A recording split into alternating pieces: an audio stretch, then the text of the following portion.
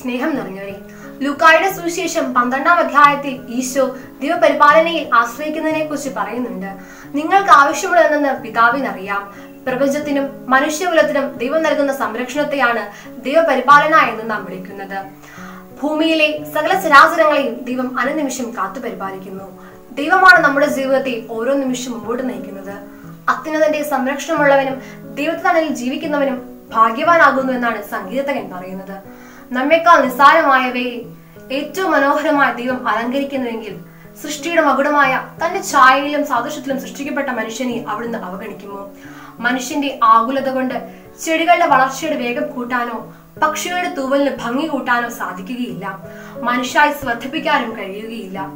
ധനമോഹമാണ് എല്ലാ തിന്മകളുടെയും അടിസ്ഥാനമായി വർത്തിക്കുന്നത്. ധനത്തിനോടുള്ള അമിതമായ ആഗ്രഹം മനുഷ്യനെ പല തിന്മകളിലേക്കും നയിക്കുന്നു. സമ്പത്തിന് വേണ്ടിയും സൗകര്യങ്ങൾക്ക് വേണ്ടിയും ഈ ലോക സുഖങ്ങൾക്ക് വേണ്ടിയും നാം എന്നും അലഞ്ഞുകൊണ്ടിരിക്കുകയാണ്. സമ്പത്ത് ആർജിച്ച് സുരക്ഷിതത്വം നേടാമെന്ന വ്യാമോഹമാണ് നമ്മെ നയിച്ചുകൊണ്ടിരിക്കുന്നത്. നിങ്ങളുടെ നിക്ഷേപം എവിടെയോ അവൾ അവിടെ നിങ്ങളുടെ ഹൃദയവും എന്ന ബൈബിൾ ഭാഗത്തോടെയാണ് ഈ സുവിശേഷ ഭാഗം അവസാനിക്കുന്നത്. നശ്വരമായ ഭൂമിയിലല്ല അനശ്വരമായ സ്വർഗത്തിലേക്കാണ് നമ്മുടെ ഹൃദയങ്ങളെ ഉയർത്തേണ്ടത്.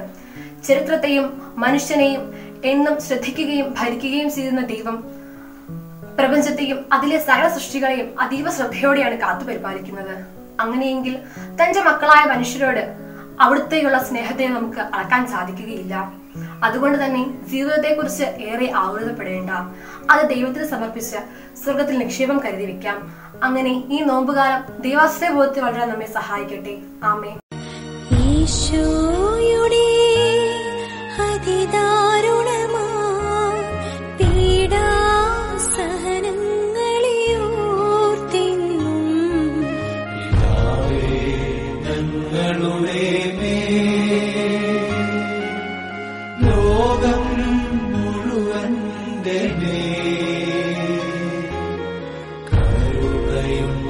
കരുണയുണ്ടാകേണമേ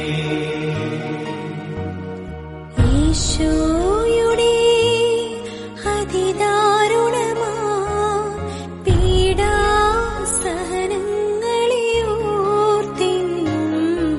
പിതാവേ ഞങ്ങളുടെ ലോകം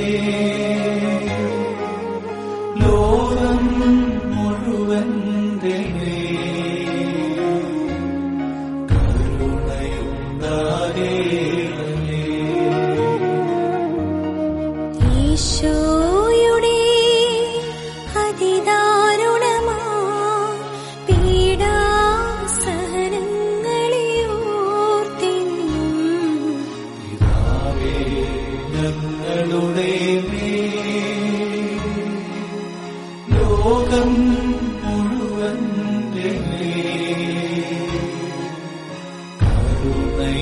കരുണയുണ്ടാകേണ